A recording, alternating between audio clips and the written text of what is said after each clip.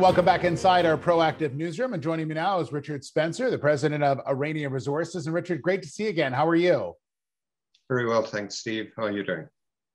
I'm doing very, very well. So, announcing uh, drill results from the first hole on your Tsenken target at Lost Cities. M- maybe before we get into the results, you could just remind everyone about the specific target.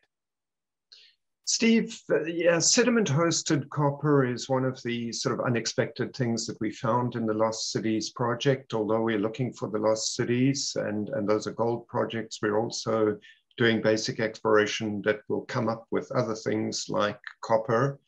And the sedimentary hosted copper is one of those things that we've come up with, and we, we see it as a very serious target. And this was the first hole that we drilled on that. So, Richard, you got uh, the results back from the first hole uh, and the Tsenken target. So, maybe you can just tell us a little bit about the results from this first hole.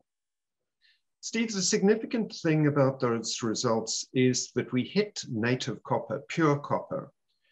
And what we need to form a big copper deposit is two main elements. We need the copper, and we also need a source of sulfur.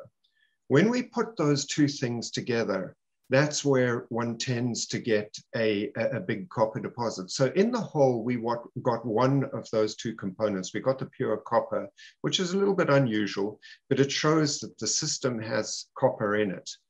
And now what we need to do is join that copper with the second component, which is the sulfide, the sulfur to give us the, the, the, the sulfide deposit.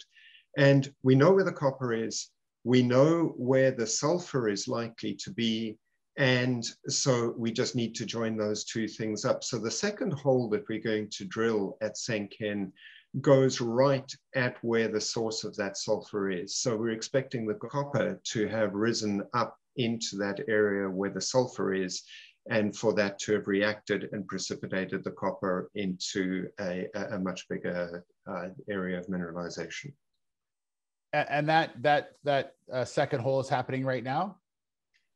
It is happening right now. Um, yeah it's on its it's on its way down at about 60 or 70 meters and we plan to drill it to about 400 meters or so. Okay. Um, richard just as we wrap up here i just wanted to sort of get some thoughts on on what else is going on Steve, there's a lot going on. We're we're drilling at Kuriyawi as well. That's a combined epithermal gold and porphyry copper target. We're down a long way on that hole. It's planned to go to about 1,200 meters, and we're we're getting we're getting down there. And uh, in addition to that, I mean, I think uh, the, the market will come to realize that we've made a discovery at the Tiria Shimpia target.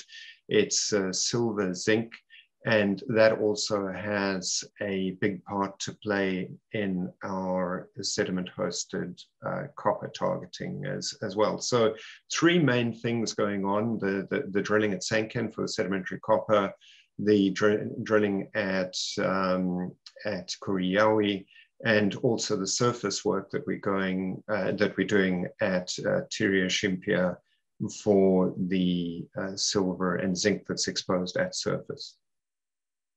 Well, one thing for sure, it's, uh, it remains busy uh, inside Aurania Resources for sure. And Richard, thanks so much for the update. Appreciate it. Good to see you again.